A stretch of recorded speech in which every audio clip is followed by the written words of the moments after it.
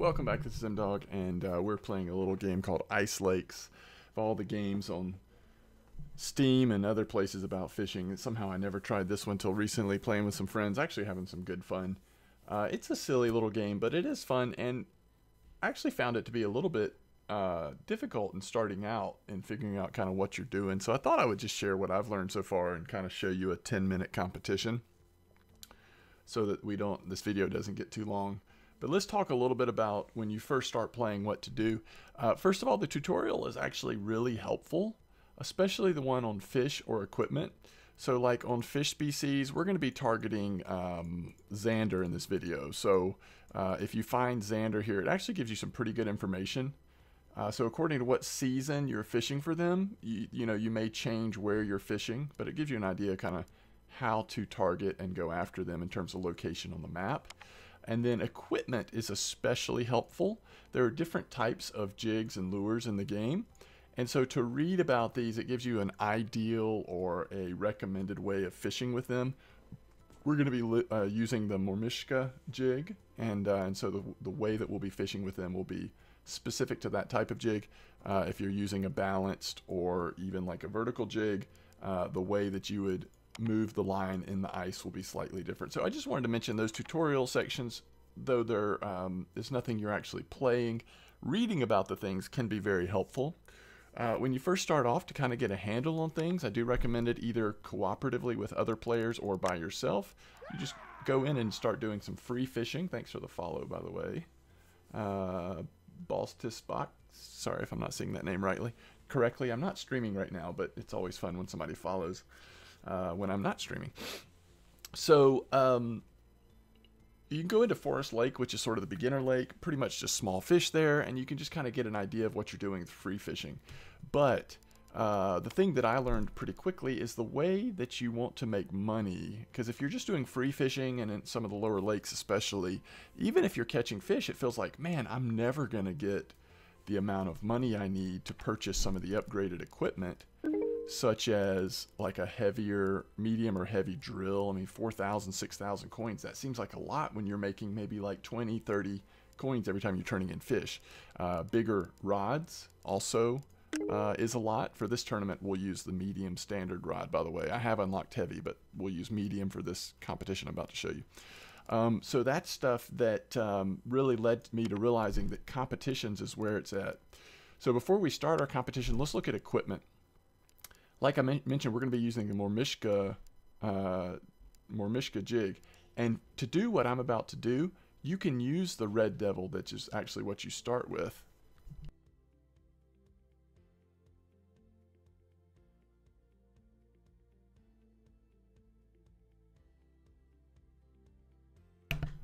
And so, uh, sorry about that.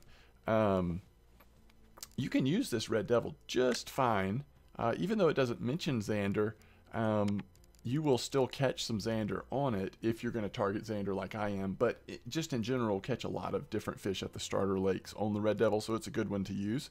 What we're actually going to be using is called the World Champion, so you'll need to spend, I think it's 1700 but it could be 1600 coins, I don't remember now, to unlock this jig. But this jig specifically is best for Zander. So it's a relatively inexpensive, inexpensive early jig you can get that does a really good job of catching Zander, which will allow you to quite easily start placing in the competitions, even from the start and early on. Um, the other thing that we will do with this jig is we will be putting drone flies on them. Okay, so uh, these are also good for Zander. So between the drone fly and the jig we're using, uh, we'll be able to catch Zander quite well.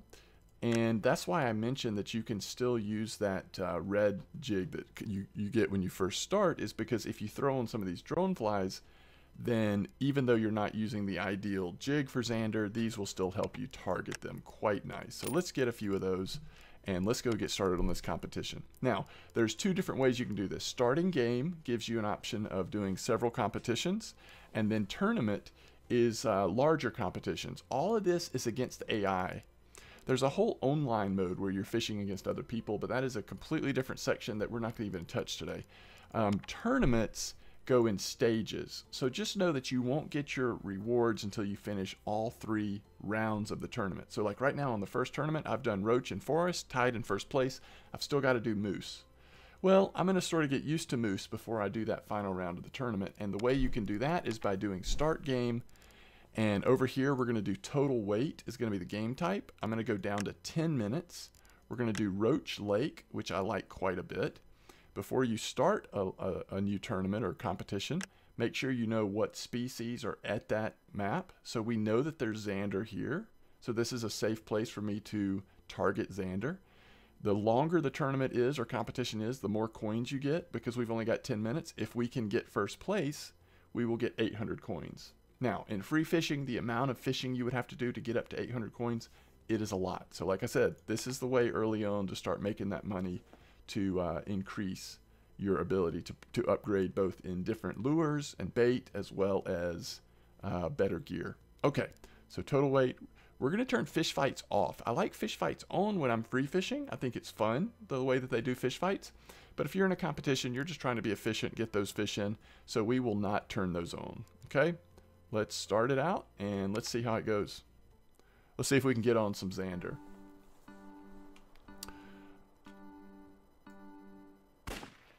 it has been a while since I have fished at Roach, but I think a lot of times I just go out here. Again, these are all AI opponents in, in this competition with you.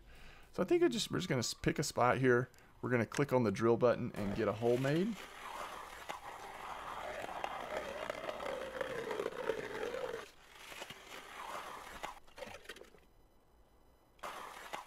And then we're going to settle in over our hole and hope that we have found a nice spot for uh, Zander. So let's select drone fly. And what this does is it's going to put a little drone fly on the end of our lure. So now that's all set up and ready to go. Let's clear the ice off real quick. And let's drop it down in there.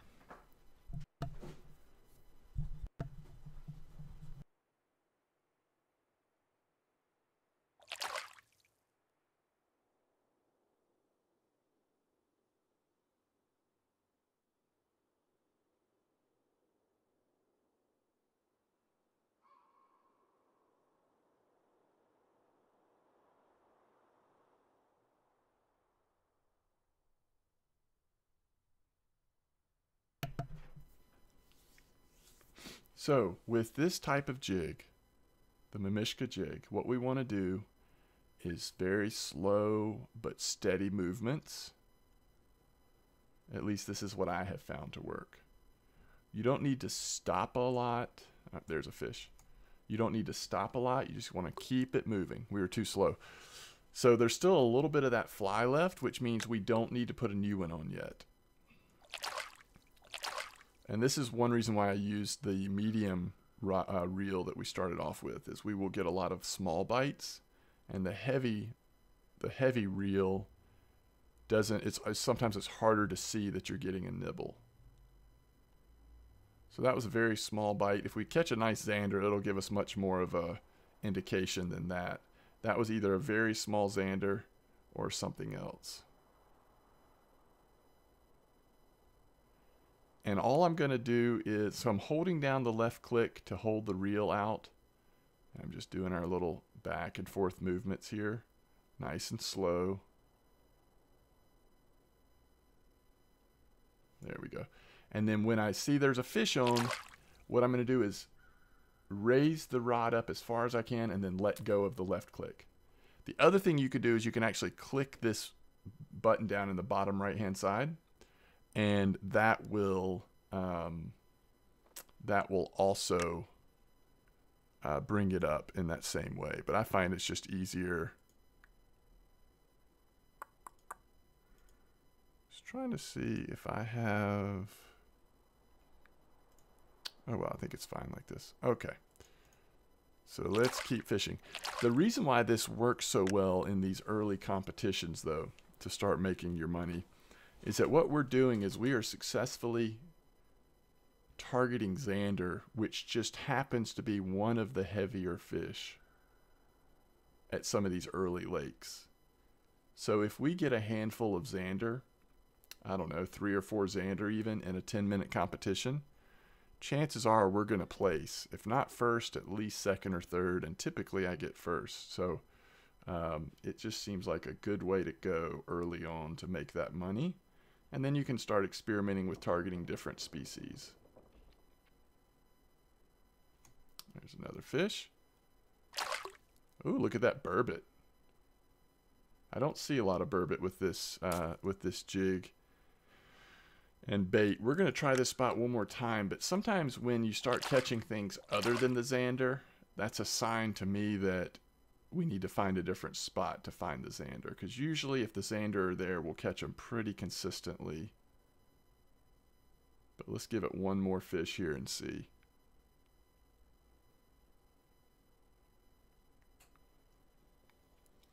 This is a 10 minute competition, so you just need to make sure that by the end of the 10 minutes you're back in the starting area so you don't get disqualified. Which I always like it when one of the AI doesn't make it back in time. It's kind of fun. In fact, the very first competition I did, I got first place, but only because one of the AI didn't make it back. They would have beaten me by about half a kilogram.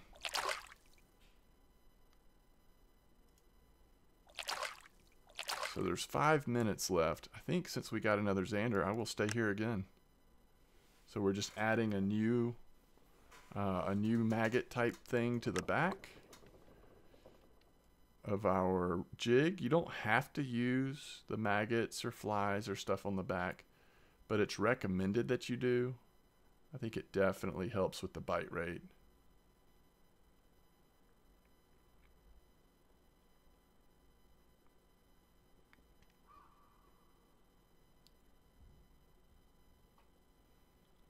You're not getting a bite, sometimes really slowing down to very slow, I just kind of going left to right, will get the fish on.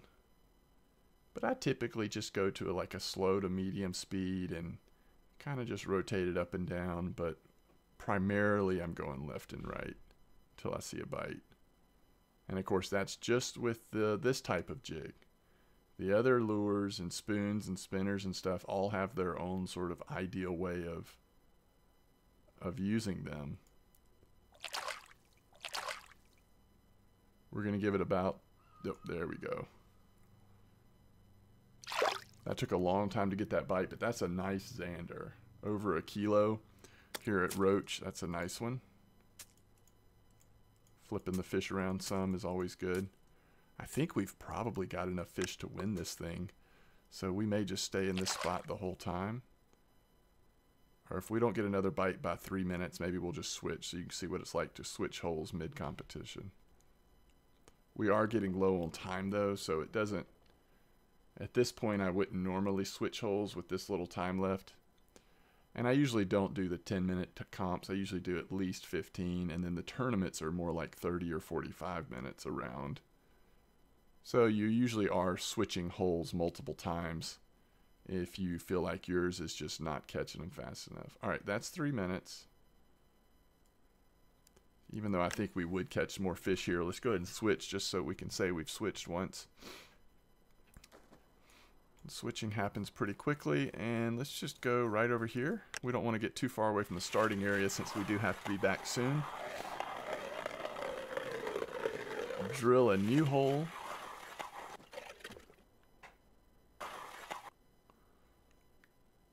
And we still have some fly left, so let's just go ahead and start fishing here. The bigger, the more expensive drills um, that will drill a larger hole will allow for bigger fish to come out. So that's kind of the, as you are progressing, you'll see the ability to catch bigger fish, fish requires both stronger reels as well as, or stronger rigs as well as um, larger drills so that you can actually get the fish out. All right, and again, a minute 48 left. I mean, we may or may not have time to get one more bite here before we got to book it back to the starting area, but the very latest I would go is like 30 seconds. So we've got basically a minute here. But I wouldn't want to go any longer any longer than that just because you don't want to cut it too close on making sure you're back in time.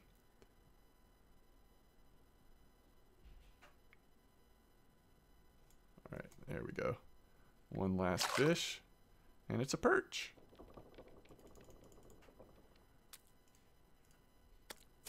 Lots of fish. Okay.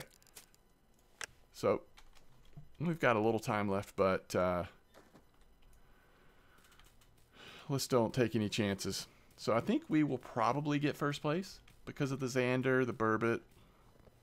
That weight will add up as a short comp. I think we'll do pretty well. During competitions, you can purchase new equipment, but um, you don't sell your fish. The only prize you're getting is not for the cost of the fish, but is for placing in the tournament or in the competition. So hopefully we will have done okay here. Again, this is Roach Lake. You can do a lot of different lakes. Zander are at a lot of different ones. If you're going to use this trick, this tactic to target Zander, you do want to make sure, obviously, you're fishing somewhere where the Zander are. And then the other thing you have to watch is like places like Moose Lake have really nice Zander there, but they also have things like sturgeon and um, pike, some other sort of larger fish species. So if you're doing a total weight competition or largest fish competition, you want to make sure that if you're targeting Zander, Zander has a good chance of fulfilling that goal.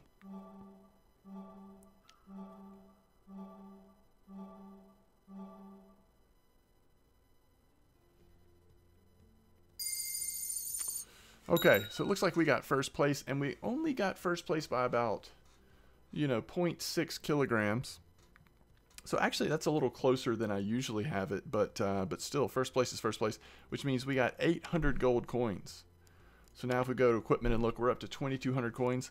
Right now, I think probably my next purchase will be a, uh, a heavy drill. So we'll be saving for a little bit. In the meantime, we'll purchase some, some baits and, and lures and stuff here and there. But this is Ice Lakes. I hope you've enjoyed. It's a very chill game. Um, primarily what you're doing is what you've seen me doing. I mean, there's some variants on the different fish you're going for. They now have just tons of maps. In fact, there's some really cool, like the Chinese uh, garden map where you can catch things like koi.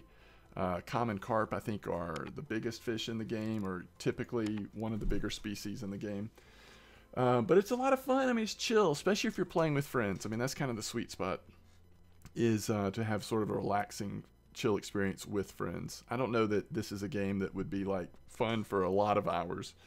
If you're playing by yourself, you could get some fun out of it, kind of level up stuff, get some equipment. But um, to me, this feels more like uh, you know hanging out in Discord with friends and playing tournaments together and doing free fishing together and that kind of stuff. So, anyway, thanks for watching, and I will see you next time.